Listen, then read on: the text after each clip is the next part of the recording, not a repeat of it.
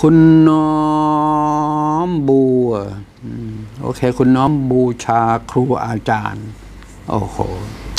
ภาษาเนี่ยนะนะ โอเค รับได้ครับผมสบาย คุณตาครับมีวิธีไม่ให้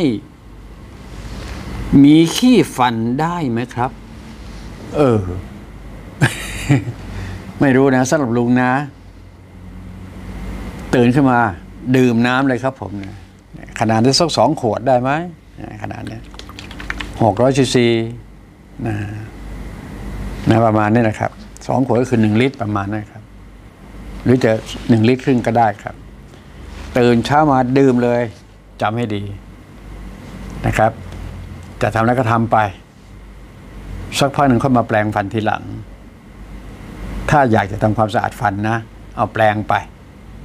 โอเคนะ ปกติก็ ปลงฟันอยู่แล้วก่อนนอน ใช่ไม่ใช่ครับ แต่ขี้ฟันจะเยอะ ขี้ฟันเนี่ยรู้ไหมมันเป็นจุลินทรีย์นั่นงั้นตื่นเช้าขึ้นมาเนี่ย ดื่มน้ำเอาจุลินทรีย์เข้าไปในระบบการย่อยอาหารจะเป็นกระเพาะลำไส้ มันจะไปทำหน้าที่สลายสารอาหารที่มันตกค้างเมื่อคืนที่ผ่านมานั่นนะครับ ไล่ออกออกไปให้หมด ว่าแล้วก็ไม่นานนักแล้วก็ปวดท้องหนักแล้วก็เข้าห้องน้ำกัน ถ่ายอุจจาระไป โอเคนะ นั่นคือปฏิบัติกันนะครับ ทุก ๆ เช้าตื่นขึ้นมาก็ทำประมาณสักไม่เกินห้าวันนะเรื่องนี้นะครับ คอยดูกันแล้วกัน ไอ้เจ้าบทที่บอกว่าขี้ฟันขี้ฟันเนี่ยเฮ้ย มันหายไปไหนวะ หายได้กันแล้วกันนะนะอ้าวเริ่มต้นครับผม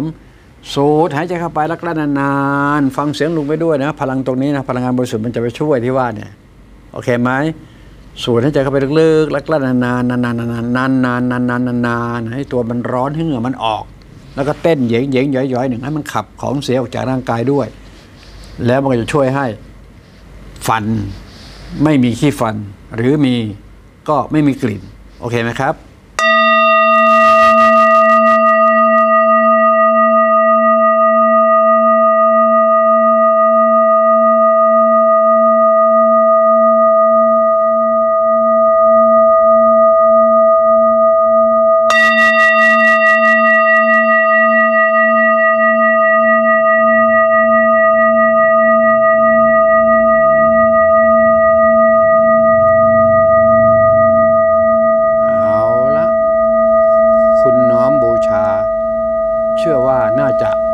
รับเต็มเต็มๆนะครับที่ฟันหลุด